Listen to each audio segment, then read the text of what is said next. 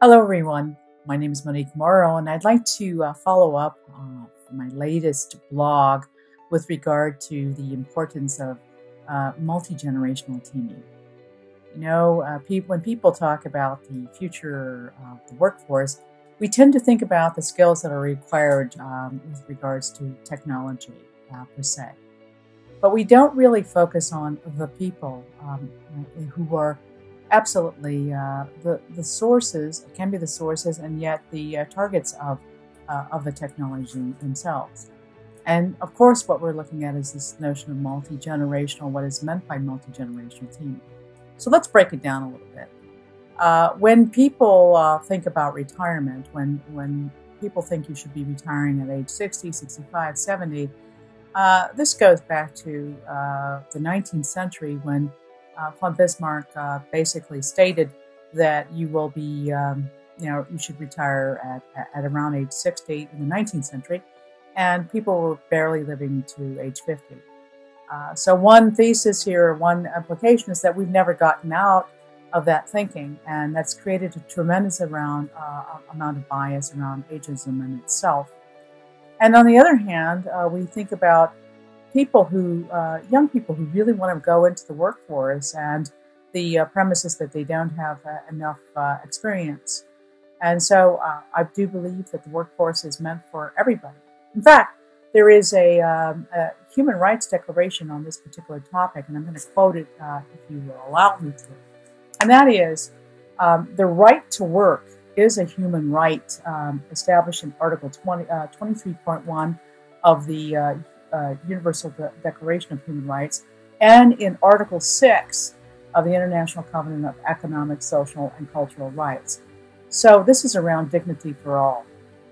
And I do believe that what we're seeing right now is this polarity between in the workforce between what is quote unquote old and what is quote unquote new. I believe that there is the power of multi generational, multi generational teaming per se. That is, both uh, groups can work together, should work together, and there is no need to target one group over the other. In fact, there is no need to target uh, one group just to push them out of the workforce uh, just because of, of uh, so called cost. In fact, um, that is what we're seeing is really some uh, nefarious things being done uh, where people, organizations will basically target elderly, elder, older groups. Um, thinking that they can actually get more help by uh, um, by going on social welfare, which is really not what is desired in our system. We desire a system of inclusion, and we desire a system uh, where people have the dignity to work uh, with one another and dignity to work overall. So, what is the power of multi generation? Well, multi generation means that we're learning from one another.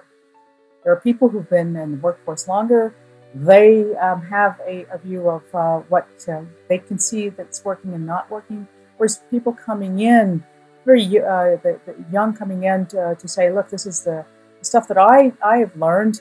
Um, can we uh, uh, can we actually use it? What are what are your thoughts? And creative sort of uh, a sandbox a sandbox where all of us can play with with one another, experiment, and also produce super super results for not only um, our customers, but also the industry overall. Wouldn't it be a wonderful world if we could live in where we don't uh, think about pushing organization uh, targeted individuals out of a workforce, excluding individuals out of a workforce either because of their age and or because they lack experience and or because they are perceived as more expensive. Um, I believe that our systems are still built and ingrained in these in these uh, terrible prejudices and discrimination. And I believe this is an opportunity for us all to change that narrative.